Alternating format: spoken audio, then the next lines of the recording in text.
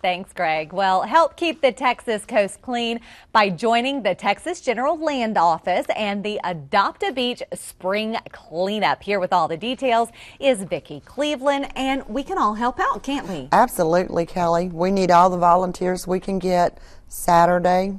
We'll have three locations to come to mm-hmm. uh, Sea Rim State Park, McFadden Beach, and for Chambers County, they can go to High Island at 124 and Highway 87.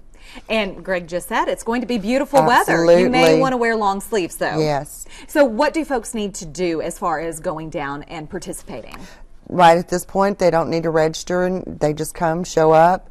Uh, we ask that they wear closed-toed shoes, and bring bug spray or sun protectant, things like that. going to be able to land with the winds. Probably not.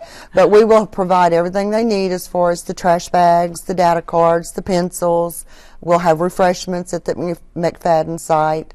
So all they need to do is come out, uh, be ready to work, and have some fun. You mentioned data cards. Yes. What will they be recording? They'll they'll record the information that they pick up, the trash that they pick up, and all of this is entered into a database and it's used for studies to know uh, how we can uh, make changes to help prevent some of this trash from building up, either from dumping or from the ships. What are some of the things that are most picked up at the beaches?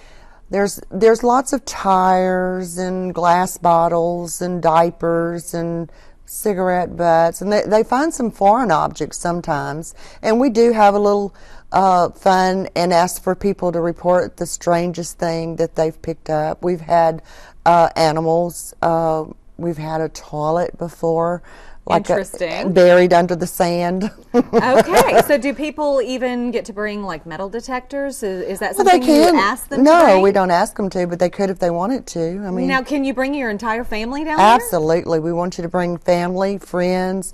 A lot of offices will come down with their whole office party. Uh, we have a lot of corporations, industrial people out there bringing their people. And what time does it all get started on Saturday? Uh, from nine till noon. 9 until noon. So yes. make plans to, to get down to the beach. Three different locations again? Yes. Uh, State Park, McFadden Beach, and uh, Chambers County at 124 and 87. Okay, Vickie, thanks so much. You're we welcome. appreciate it, and hopefully lots of folks will get down there and keep our beaches clean. Yes. All right, Texas General Land Office and Adopt the Beach Spring Cleanup. This is our 27th annual event. So. Wow. Thank you so You're much. welcome. We appreciate it. And coming up next on Live at 5, it is time for Facebook Friday.